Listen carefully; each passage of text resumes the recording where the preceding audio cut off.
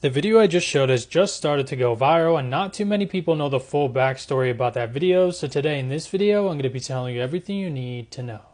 Reportedly, this situation took place very recently at a town in the United Kingdom called Chesterfield in which they've been experiencing very bad weather and storms and in this video in particular, a bus driver was trying to bring these students home when their bus ended up flooding with water. You could probably guess everyone on this bus started to freak out because their bus was literally flooding with water, but thankfully the bus driver was able to get them out of this situation and no one was harmed and everyone was able to make it home safely.